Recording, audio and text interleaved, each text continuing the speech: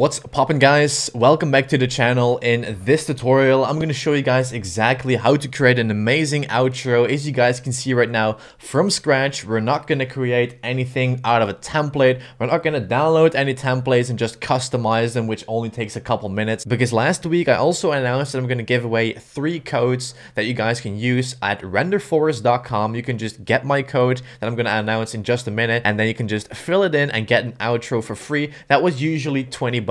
So basically, these are the winners that I picked because I think they can use it the most and they need it the most. I said like, leave in the comments down below why you want to win this coupon code. So if you're watching this, I'll reach out to you uh, myself as well. But if you're watching this, make sure to just shoot me a, like a message on Facebook or Twitter or Instagram and I'll send you the code so you can redeem it on the website. But for today, I'm going to show you guys, like I've mentioned, I'm going to show you guys how to create an amazing outro from scratch. So with that all the way, guys, let's go ahead and get started right after the intro.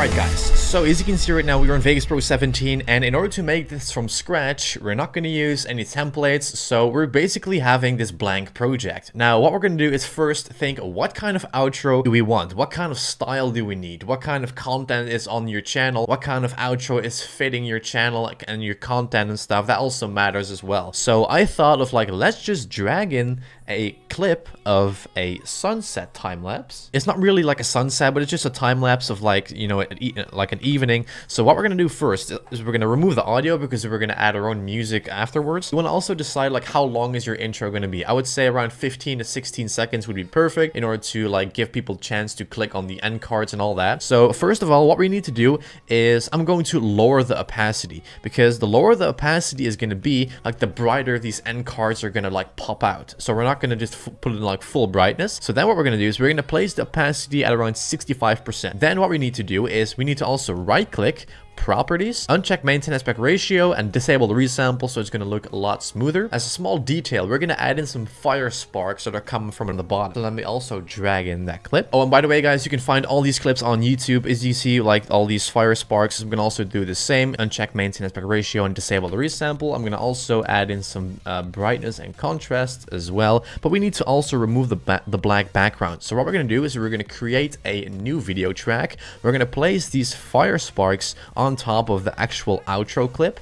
And then we what we need to do is we need to be able to see through them. So right now we're going to go to the compositing mode of the Firesparks track. And we're going to put that one to screen, which is going to remove the black background. And right now we can see through it and the fire sparks are actually just showing. So that's basically a really, really cool detail that we can actually use. Now, obviously, if the fire spark clip is too short, you can just also press Control C, Control V to loop it. Or what you can do is create a crossfade as well, which looks really, really cool. So what we need to do now is basically add in some text. So at the very top, we're going to add in thanks for watching. So I'm going to go to the media generators tab, scroll all the way down until we see titles and text. And I'm going to just pick the default one, drag it on top of the of everything basically. And we want to stretch this text over the entire outro. So now what we need to do is, for example, type in thank you for or thanks for watching. But then what we need to do is also like give, just give it a little bit more of a like a different font, guys. The standard one looks a little bit too basic, a little bit too like amateur. So we're gonna just scroll down until we see like a nice font. So let me just scroll down a bit. I'm like kind of like obsessive when it comes to these fonts because I just want to have the font like look perfect. Let's just go ahead and pick this one, but it's also way too big. Let's pick the size 20. I think that one looks perfect. What we need to do now is just position this at the top. What we can also add in as details is just add in a little outline for example, a black one.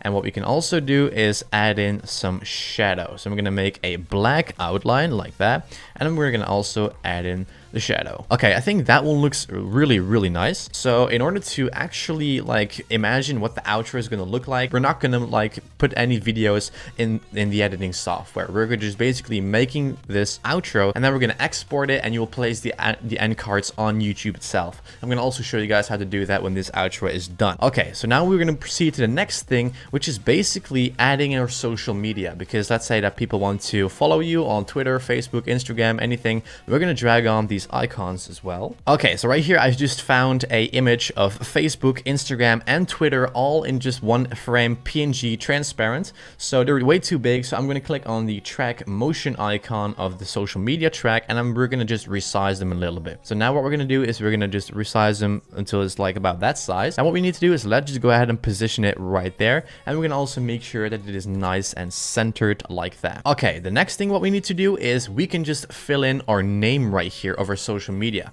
Now, I want to mention that if you have Facebook, Instagram, and Twitter all the same name, for example, at blank, you can just, you know, copy one text layer. But if you have like three different social media names, for example, facebook.com forward slash blank, and then for example, like instagram.com slash blank two, and twitter.com forward slash blank three, you need to fill in three different text types so people will make sure you they will follow the right account. But let's go ahead and proceed, and let's say that we have all social media names under one name. So we're going to just copy and paste the thanks for watching actual text pattern. We're going to just adjust it. So let's just go ahead and type in Alex Halford. Let's pretend that that's going to be the name of all our accounts. And what we need to do then is just go ahead and place it at the very bottom. Just like that. All right, this looks very, very nice. So let's go ahead and play it back. So as you can see, this is basically the fire sparks coming in along with like the time lapse. Thanks for watching. We have our social media at the very end. So right now, if you think this one looks great, you can just go ahead and add some music and export it as well. But I think it can add in like a little bit more detail, such as a vignette, which is basically gonna make like the edges a little bit darker. Let me just show you what, what, what it looks like. Just like that, as you can see, it looks very, very cinematic. I don't really want this vignette to cross over the text, so I'm gonna drag this vignette track under the text, so the text remains just normal and white. As you can see, just like that. Okay, so that looks really, really cool. So you gotta just imagine like, okay, right now here is going to be, for example, like a random video, and right here is going to be my previous video or the other way around. So the next thing that we can also do is add in, for example, like this line that I found online. Okay, I really think this line looks very nice. It's just like a really, really, really thin, small white border. But what we can also do is we can just mess with the compositing mode, and we can actually like make the like the edges like color and stuff. I'm gonna just, uh, you know, go through the compositing mode a couple times so you guys, you know, see what that actually can do. So if you just go ahead and, for example, mess with the compositing mode, you can just, you know, go ahead and go through and see which one you like the best. For example, like this one, like you will actually see through it, or you can also lower the opacity. And as you can see, if I just zoom out just a little, that is basically what it looks like. You have the lines on the side and at the top, it's looking really, really nice. Okay, so the last thing that we need to do right now is just go ahead and insert some music. Now, I can actually recommend to use no copyright sounds or basically any like any song that's not copyrighted because otherwise you won't be able to monetize your video. Well, the video is monetized, but the, all the revenue goes to the label. Okay, let's just drag in a song and let's actually find the drop.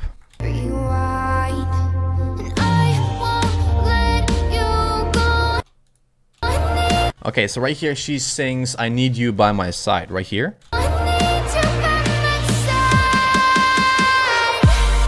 And then we're gonna make the outro kick in. So we can actually like make like a build up, for example, like talking, for example, like thanks a lot for watching. I'll catch you in the next one. You know what I always do. And then it can have this fade in and then we can actually make the outro start. So what we're gonna do then is we're gonna make sure that we will select everything that we just made. And then we're gonna just go ahead and select it all, press G to group it. And then we're gonna make it kick in where the drop comes, right here.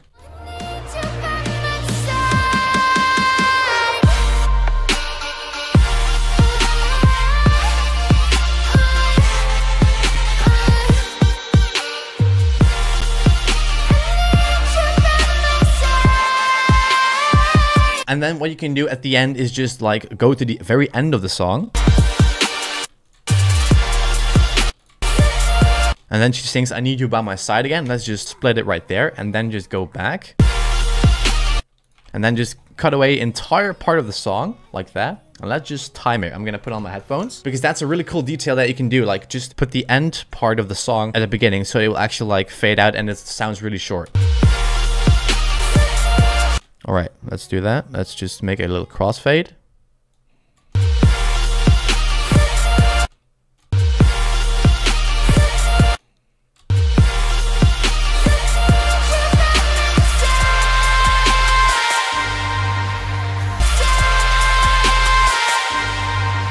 And then when she sings, we can just cut everything and delete it. So this is basically what we've come to create.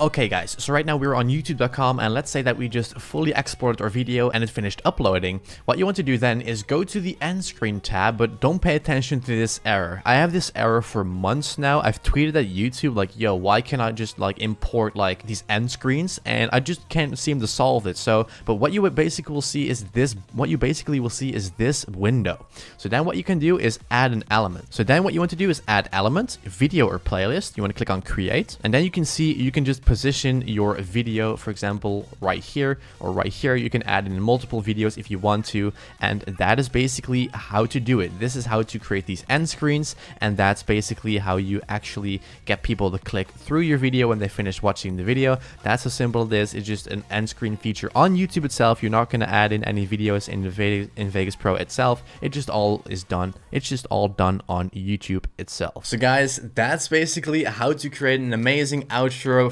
scratch. If you guys have any more ideas or tell me in the comments how your outro is going to look like or what the perfect outro looks like for you, let me know that down in the comments down below. I really hope you guys enjoyed this video. This is how to do it, guys. I want to thank you guys for watching. Thank you for the continued support. I'll catch you guys on Monday with a brand new video. Have an amazing weekend, and I'll see you guys, obviously, next week.